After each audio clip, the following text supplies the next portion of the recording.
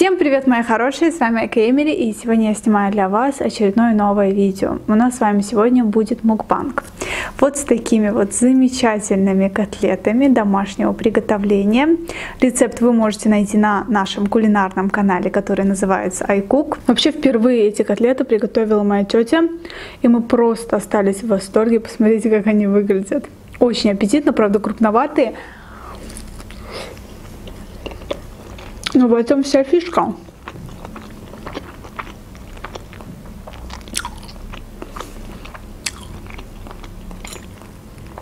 В рецепте вы увидите, что внутри этих котлеток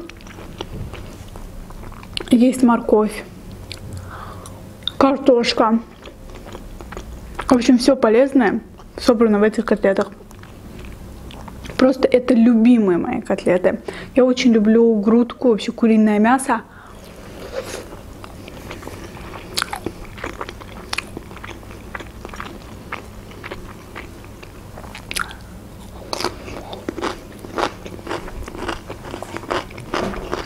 Сегодня целый день была занята. Ходила просто по банкам, решала свои проблемы я поняла, что банки очень сильно отличаются между собой именно профессионализмом, именно вот сотрудники вот везде не одинаковые. Я обычно вот иду в банку в Баку, и мне очень нравятся сотрудники, которые там работают.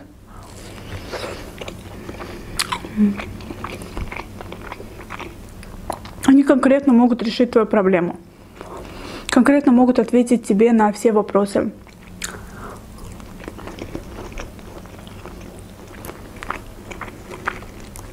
У меня даже были проблемы, связанные с счетами. И по идее это не их дело, да. Но все равно они пытаются тебе помочь. Это очень круто. Сегодня мне пришлось зайти в другой банк. Пришлось, вот реально пришлось. Я просто увидела разницу.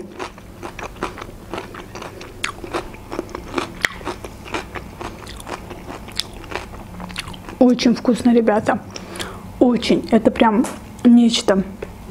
Я люблю домашнюю еду, которая напоминает чем-то фастфуд по вкусу. Вот если бы не было бы вот этой темы, что фастфуд, Макдональдс, это все вредно, я бы каждый день кушала бы фастфуд. Вот только фастфуд и все.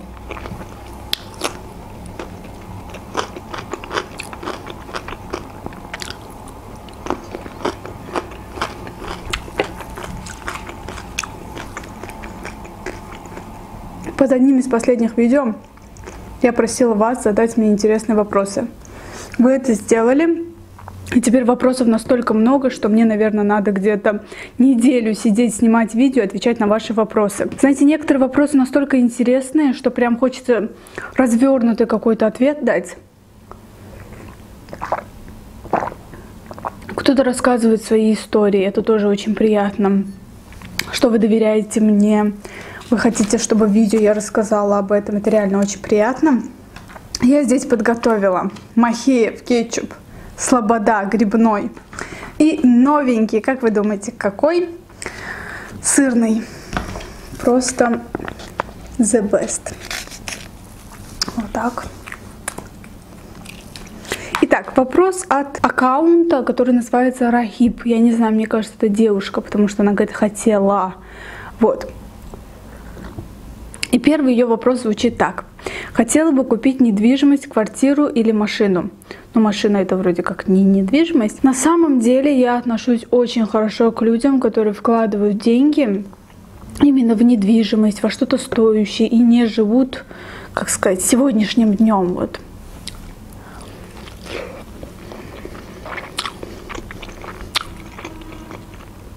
Проблема просто заключается в том, что Жилье у нас стоит очень-очень дорого. Очень. И налично купить я просто не осилю. Хотя я откладываю, стараюсь экономить. Ну, представьте, однокомнатная квартира стоит от, наверное, трех миллионов. Мне кажется, это очень дорого. Вот в Турции жилье дешево стоит. Это круто. А у нас такого, к сожалению, нету. Что касается ипотеки, я бы не взяла ипотеку на 15, на 20 лет.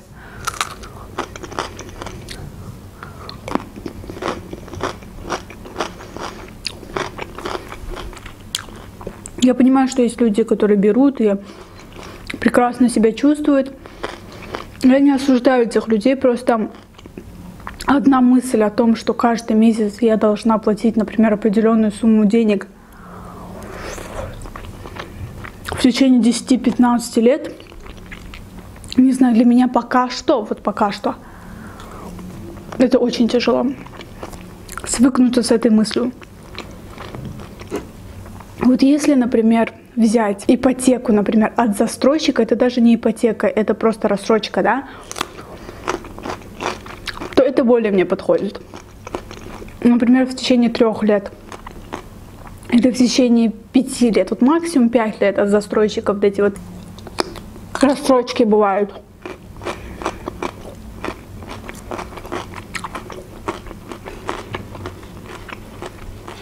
А в идеале это, конечно, наличном. Просто купить и сидеть себе радоваться жизнью.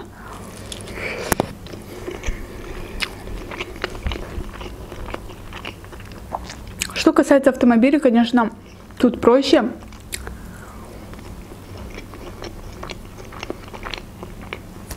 Я просто, знаете, всегда боюсь, что вот, например, у меня ипотека. Ну не дай бог какое-то заболевание, правильно?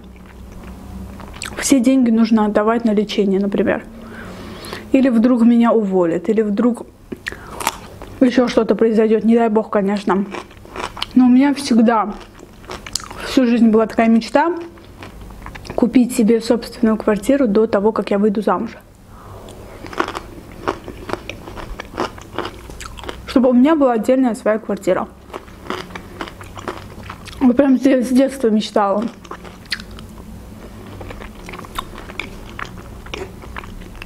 Ближайшие два года я замуж не собираюсь. Даже два с половиной, наверное.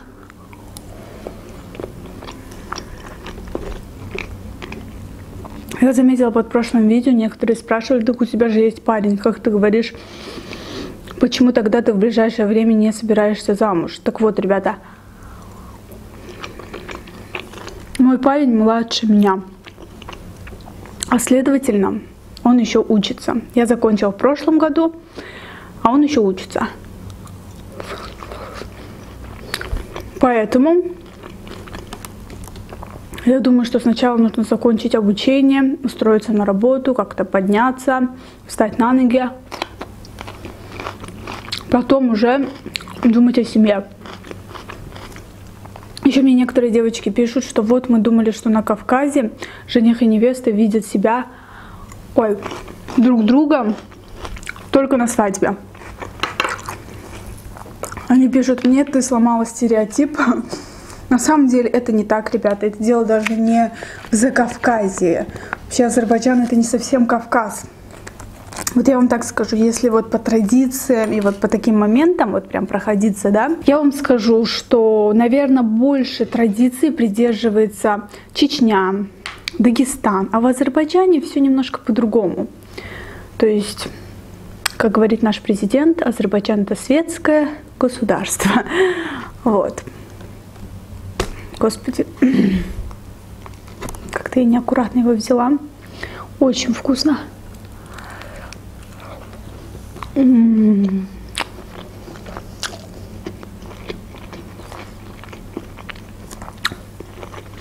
Поэтому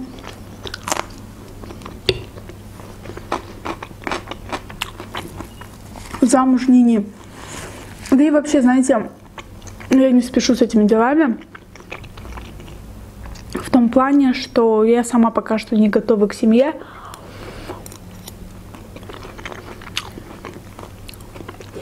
Мне нравится моя розовая комната, я прекрасно себя ощущаю здесь.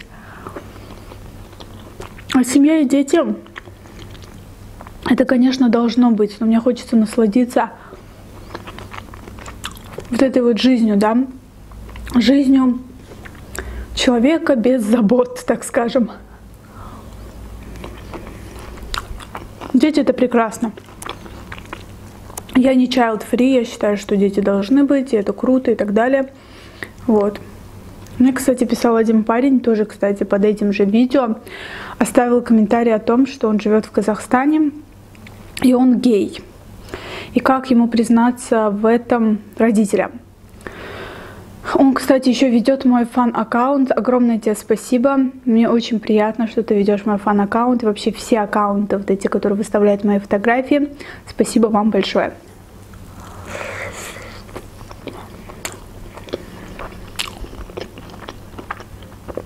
И вообще он в общем спросил, как я отношусь к ЛГБТ. Я уже отвечала на этот вопрос. Но просто хочу расширенно просто поговорить об этом. Расширенно, это правильно?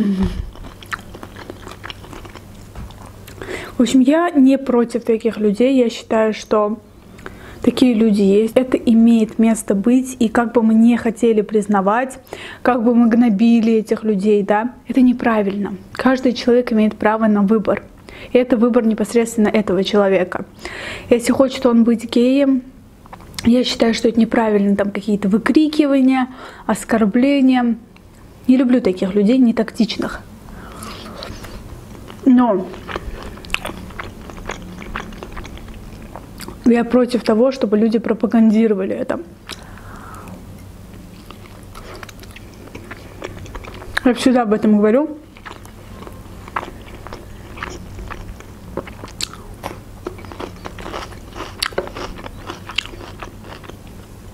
Если бы у меня была бы такая ситуация, я уверена, что я долгое время, наверное, не рассказывала родителям, чтобы они не расстраивались по этому поводу. Но рано или поздно сказать нужно. Мне кажется, что все равно родители такого ребенка, они хочешь не хочешь догадываются. Может, они не хотят это признавать. Странно разговаривает, как-то странно себя ведет. Вот. Я не могу раздавать советы, пока я не знаю всей ситуации. Но признаться нужно, я считаю. Вот.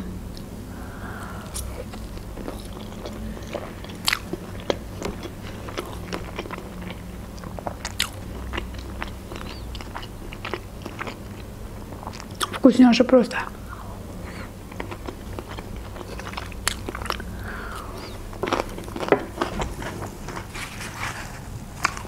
Следующий вот такой вот интересный вопрос. Пытались ли тебя когда-нибудь обмануть мошенники? Это очень интересный вопрос. А вы знаете, когда я работала в магазине техники, очень часто были такие случаи. А, приходит человек платить за кредит, правильно, подходит к кассе. Ну, кассир сидит, он ему говорит имя, фамилия, ну, как обычно это все дело бывает. Потом человек, клиент, вытаскивает, например, 100 долларов, да, у него в руках. Он показал эти 100 долларов, потом отвлекает кассира. Что-то спрашивает у него, резко эти 100 долларов меняет на 10 долларов, например, я в долларах это говорю, и дает эти 10 долларов.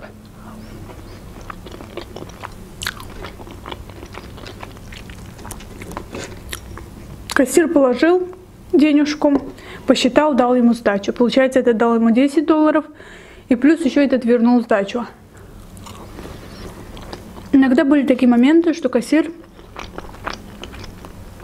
замечал, что его хотят обмануть, и говорил клиенту, что вы мне не давали 100 долларов, например. Клиент начинал, знаете, там истерику, что как так, вы что, я вам только что дал, вы положили вон туда. А кассир об этой схеме уже знал. И вот тогда мы с директором смотрели по камерам, и мы видим, что клиент не давал эти 100 долларов, он просто их показал и положил обратно в кошелек. Они просто не учитывают этот момент, что в крупных магазинах везде стоят камеры, все это можно легко доказать. Почему я думаю, что это схема, а не просто человек ошибся? Человек, когда на камере это увидел, он сказал, ой, я что-то вообще, говорит, голову свою потерял. Извините, говорит, я перепутал. Но с каждым человеком такое может быть, и я бы сказала, ой, да ладно, но эта ситуация повторялась несколько раз с разными людьми. Все вытаскивали из кошелька, показывали денежку, потом обратно клали в кошелек и давали другую денежку. Поэтому я думаю, что это целая схема.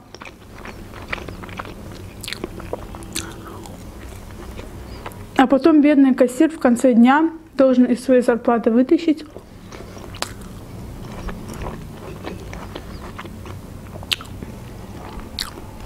и отдать.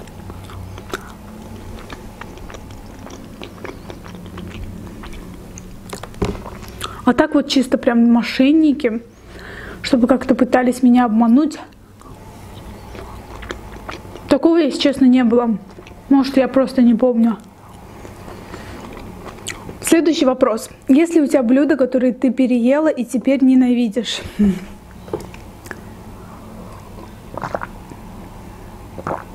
Когда я снимала видео про крабовые палочки, моя мама сказала, все, после этого, говорит, ты смотреть даже не сможешь на эти крабовые палочки.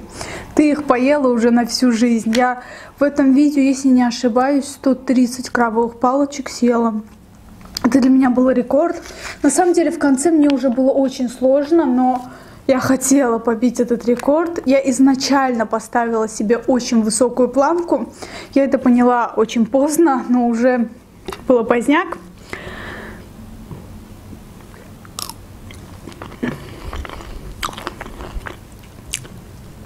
Если вам интересно, вы можете в ютубе вывести крабовые палочки Айка Эмили и выйдет это видео. И вот после этого я тоже реально думала, что на крабовые палочки я просто смотреть не смогу. Сейчас у нас в холодильнике лежит 4 пачки крабовых палочек. Мама какой-то салат задумала делать. Но я краду эти крабовые палочки. Я просто, я просто как шпион врываюсь в кухню,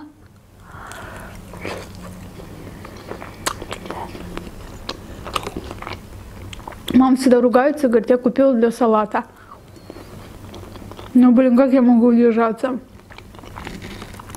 Я даже думаю, может быть, снять мукбанк.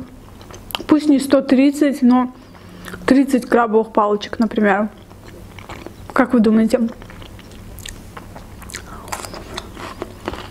Еще я так угорала. Одна девочка написала в комментариях, не помню, какое блюдо. Она написала, Айка, сними пиццу или шаурму. Ну, в общем, то, что мне много раз было. Ей в комментариях отвечают. У нее это на канале уже, говорит, семь раз было. И она такая говорит, ну что, пусть восьмой раз будет.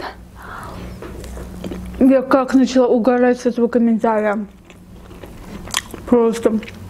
Вы у меня реально такие угарные. Обожаю просто.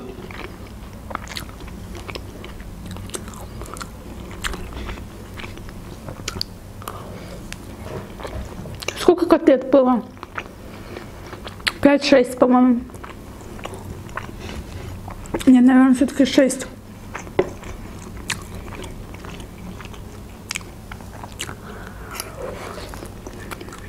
Я думала, что я не смогу сесть.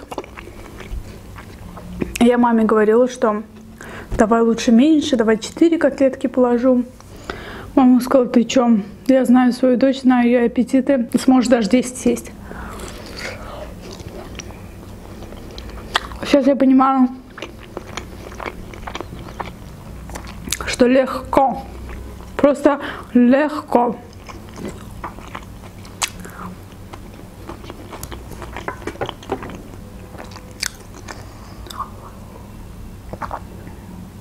Следующий вопрос опять про бизнес. Хочу ли я салон красоты свой? Знаете, я думаю, что я слишком маленькая для какого-то бизнеса, Иногда я смотрю видео там в Ютубе про несовершеннолетних миллионеров, там какой-то бизнес они построили и так далее. Честно, просто аплодисменты стоят. Мне кажется, лет до 35 я еще не, не способна на то, чтобы создать какой-то свой бизнес. Даже самый примитивный какой-то.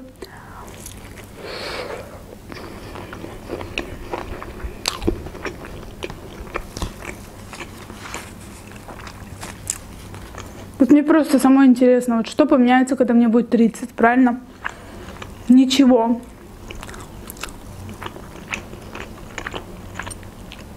Но как-то не готовая. Салон красоты вообще не мое. Хотя никогда не говори никогда.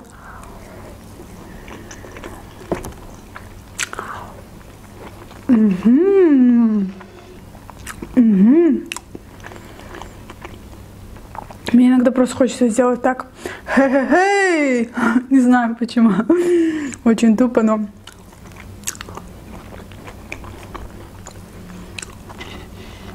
Картошечка очень вкусная. Пожарила мамочка с любовью. Кстати, спасибо всем, кто пишет комментарии на Айкуке. Одна девочка просила передать привет. Сейчас найду, как ее зовут. А вот нашла. Ферангиз Мухтарова. Передайте огромный привет. Огромный привет еще твоей маме. Мне очень приятно, на самом деле, когда люди пишут, что, например, меня смотрит моя мама тоже. Вообще, мамы — это святое. Берегите их и любите. На этом все. Я вам желаю удачного дня, приятного аппетита. С вами была Эмили. Кстати, не забывайте подписываться на мой канал и ставить лайк этому видео. Всем пока!